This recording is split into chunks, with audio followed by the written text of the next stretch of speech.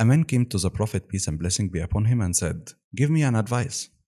The Prophet said, Don't be angry. And the man said, Okay, give me more advice. And the Prophet said again, Never be angry.